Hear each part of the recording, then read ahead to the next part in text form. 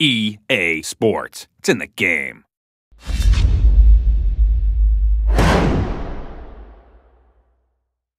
What's up, Madden NFL 12 fans? Z Farls here from PrimaMadden.com. Today we're taking a look at the San Francisco 49ers playoff run and looking to implement some strategies to get a three gap rushing attack in our game. The 49ers have had great consistency all season at the running back position, and of course, that starts with Frank Gore 92 speed, 91 trucking ability, and 98 vision. Of course, you also have a great backup with Kendall Hunter. He's the more elusive of the pair, 91 speed and 94 agility.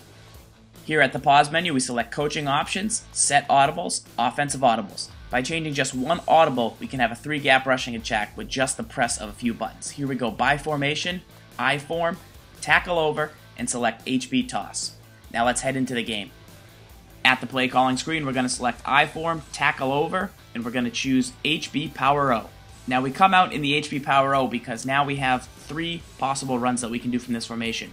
Our quick audible is the HB dive up the middle. Our halfback Power O is the play we selected and show us running here. And then also we can now access the HB toss that we put into our audibles. So if the defense starts to stack the outside of the line, we can press XX right stick down on Xbox or square square right stick down on PlayStation 3 and audible to the halfback dive. And also, we can press XXY or square square triangle on PlayStation 3 to audible to VHB toss.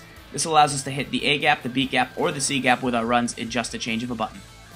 Now that you know the three runs we'll be using, let's take a look at how we run each run. Here's the HB Power O. The key to this run is watching this linebacker here. We have the pulling guard, so if he comes outside, we want to cut back inside, and if he comes inside, we want to go to the outside. Here's a good example of Frank Gore. He starts to hit that inside hole. He holds it just long enough for the linebacker to get sucked inside, and then he breaks this run to the outside.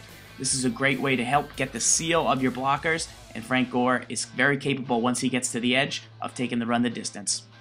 Here, Frank Gore sets up his run to the outside, gets the linebacker to commit, and then cuts back inside. This is why I don't recommend holding down turbo until you decide to make your cut and then put your head down and pick up yards.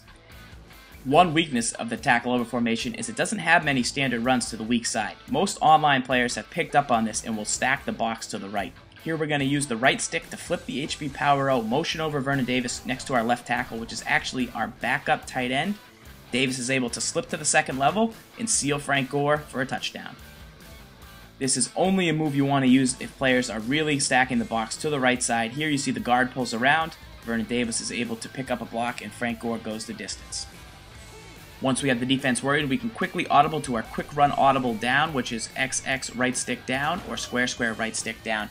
This halfback dive up the middle will keep the defense honest. They won't be able to stack the outside.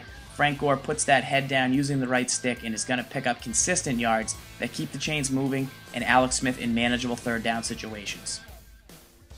Lastly, if the defense starts to bring the safeties down into the box to stop the run up the middle on short yardage plays, we have the quick ability to audible to the toss and get Frank Gore on the edge out into space. Here you can see Gore take the pitch, get in behind the fullback. He starts to turbo once he reaches that corner, and if we can hold our blocks downfield, we're going a long ways. While Frank Gore can carry the load, don't forget about Kendall Hunter. His agility rating is a great complement to Frank Gore in the open field and could really help put some pressure on that defense. One more holiday bonus tip for my EA Sports guys. When we get into the red zone, what we want to do is take the I-form tackle over formation and either use the right stick to use the dual halfback package or simply use RB or R1 on PlayStation 3 to sub Frank Gore into fullback, call the fullback dive, and when we snap the ball, what we want to do is hold X or square on PS3. Frank Gore will jump up, dive into the end zone, and get in for six. Hopefully, the Niners' formula of great running and defense will carry them far in the playoffs, guys. This is Z Farls once again from PrimaMadden.com. Tune in to This Week in Madden. It's a live weekly Madden tip show every Wednesday night at 8.30, running all the way through the Super Bowl, guys. We'll see you in the lab.